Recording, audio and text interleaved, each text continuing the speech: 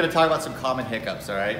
The, the first hiccup that I know that most of the students uh, in this class end, end up dealing with is, I can't get this thing to print, right?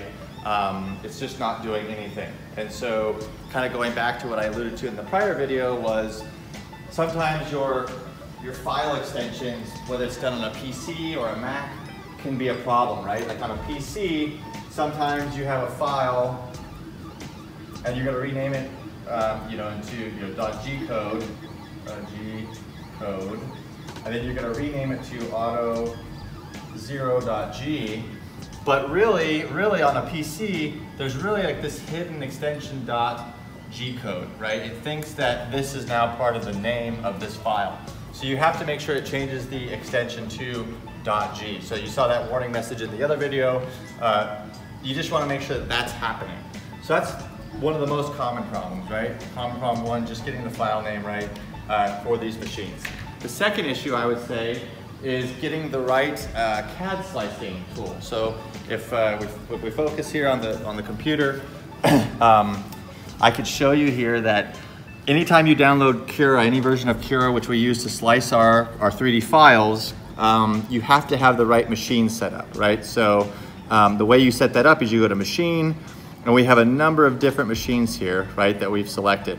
Uh, you go, if you don't have Printrbot Simple Metal, which you wouldn't have on a brand new installation of Cura, you'd have to go to add new machine. And then again, this is, I'm gonna cancel this. Uh, we're in Cura 15.4.6. So this is sort of the older view, but it's a reliable view. And we just come here to add new machine.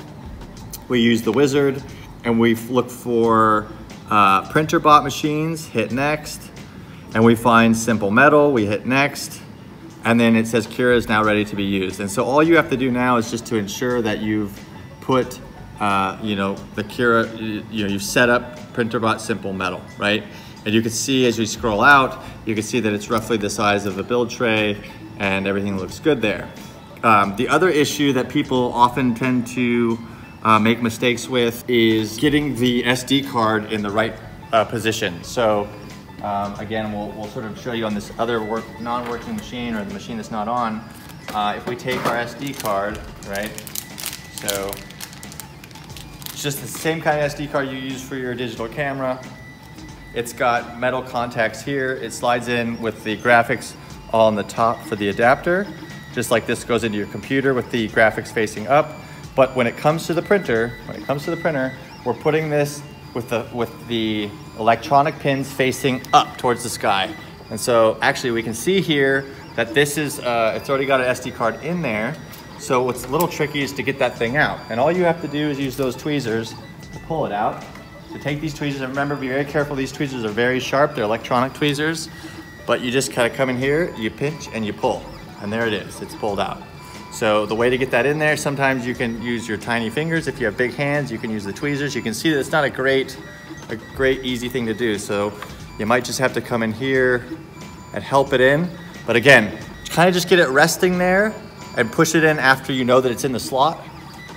Yeah, what if you drop it inside? It's a great question and it's happened a million times. So let's just show you how I would deal with that. So let's say you pull it out and you drop it into this hole. Oops.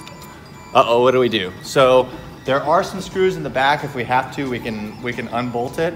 But there's two tricks to get those things out, right? Uh, you can try to, on the side here, there's a little bit of a gap. So you can either try to fish it out with this thing. And if that doesn't work, which it doesn't seem to want to work too well, uh, let's see, maybe I can get it this way. Oh, there it is. So we got it out. So a little bit of finesse with the, the uh, palette knife and you can get it out. But that happens quite a bit and that's a great question. How do I set up my, my filament, right? So let's say I wanna change my filament, I don't want gold. Okay, well first thing you have to do is you gotta get this thing heated up. Now, there's two ways to do it. We, we used to go into detail about how you can actually connect these machines to your computer and control everything manually, but I find now that it's just, just as easy to start a print uh, and just sort of let it warm up and before it actually starts moving, uh, just to get your, get your filament out. It, it kind of requires a bit more knowledge and comfort with the machine, but I just plugged it back in. I don't know if this memory card that we just showed you has any, any file on it, so we're gonna see here.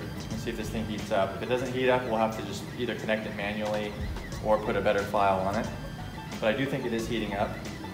Yep, it's definitely heating up. So this is gonna heat up. Yeah, it's hot.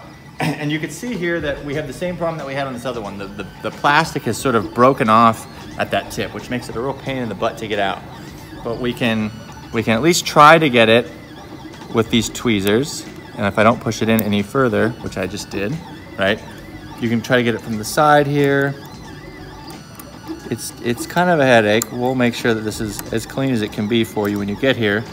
But ideally you can pull it out. But once you pull it out and you have a clear shot at the sort of this drive wheel, uh, you can you can load up new filament. And so again, PLA, polylactic acid, absorbs moisture and it gets brittle uh, as it sits out in the atmospheric air. So we want to use the ones that are already open, but we got to be careful that it doesn't keep breaking on us and causing our prints to fail. So buy a new roll of, of fab, you know, filament if you are that concerned about it. Uh, but what we do here is we just try to get this filament as straight into this hole as we possibly can we can push this pinch wheel out and then, oh, look, I broke it because it's brittle. So you gotta be kind of careful with how you force it in there. But again, the straighter you can get this, fresh filament allows you to bend it a little bit better, but um, the trick is just sort of to get it so that it goes in there and into that hole.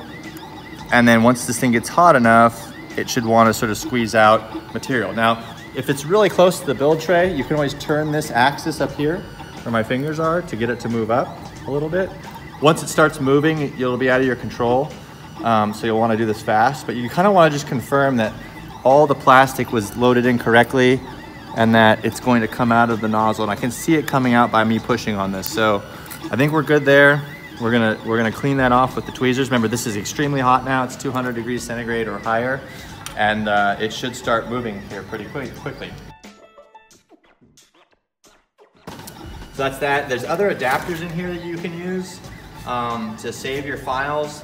If you don't have an SD card reader, there's a USB to uh, basically SD card reader conversion tool.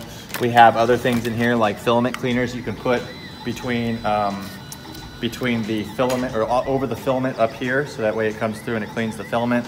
Probably not necessarily for what your folks are doing in this stage of your 3D printing careers. And then we also have, um, I believe these are extension tools so that it makes it, it's supposed to make it a little bit easier to get that SD card sort of working correctly, but we found that not all printers like this. You can see that it's um, an extension. So basically these go into that slot and then you can plug in a full-size SD card. But we found that that hasn't worked so well. So you can feel free to try that if you're not having any luck with the other methods. Um, but that's, uh, that's that. Other major issues, I would say just trying to pick a, a part that's ambitious to print. So this one here had at least one surface that was flat that you could print on top of.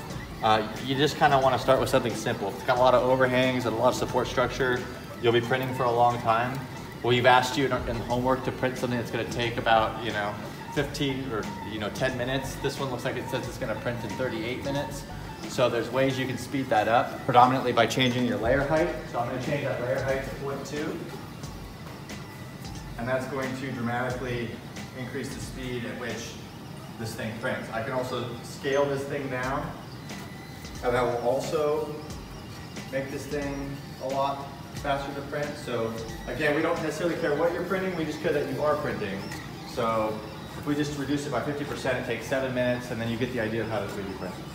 All right, well, thank you again for watching. Hopefully this helps you deal with troubleshooting issues, and you can see here that this print is about 75% uh, complete, and we'll film a little bit more when we get done.